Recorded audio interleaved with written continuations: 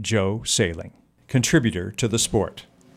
It's not surprising that Joe Saling was drawn to cycling because he was born in Somerville, New Jersey, the home of America's oldest continually run bicycle race.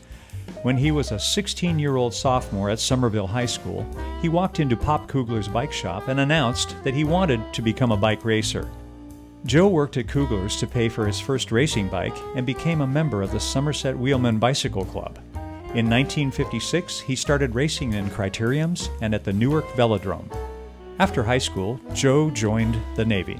Following his Navy stint, Joe returned to Somerville and dated the sister of some bicycling friends from nearby Flemington.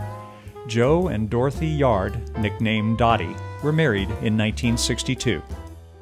Joe raced in the Tour of Somerville and he went on to win 21 national championships from 1973 to 2017.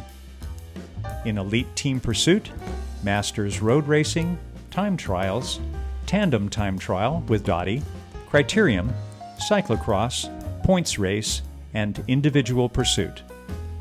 He became an eight time Masters World Cup champion and a six time Masters Pan American champion. He has won silver medals in Masters World Track Championships and bronze in Masters World Cyclocross Championships. Along the way, he won over 50 New Jersey State Racing Championships. Joe bought Kugler's bike shop in 1967, and it was known as Saling's Schwinn Cyclery until 1981. In 1984, he became an event coordinator for Gant Challenge, the first nationwide mountain bike series. He was also an event coordinator and announcer for the 7 Eleven Bicycling Magazine Grand Prix and the Fuji Sundance Track Cycling Series. It's going to be Emery, a little bit of a little bit of rock and roll back there on the south turn Brent Emery and Tom using the whole track. Up the track, down the track, into the pole. Now Brent Emery fighting for the line. Going to try to get around him. Brent Emery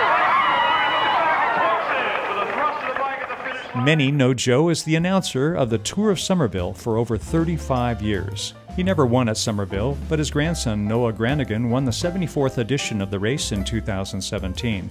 Joe has also been the announcer for World Cycling and National Championships, in addition to the Pan American Games, Olympic Games, and races all over the East Coast. Joe organized the first 4 H cycling club in the U.S. in the early 1970s, and he also presented bike safety programs and rodeos. Joe has coached at Walden School of Cycling in Florida, international events, and for national teams. He is still a member of the Somerset Wheelmen and has coached their junior development program. Joe is a member of the Somerville High School Hall of Fame, as well as the Valley Preferred Cycling Center Hall of Fame in Trexlertown, Pennsylvania. He was a charter member of the U.S. Bicycling Hall of Fame, which started in Somerville, New Jersey. His wife Dottie was voted into the Bicycling Hall of Fame in 2010 as a result of her extensive cycling accomplishments.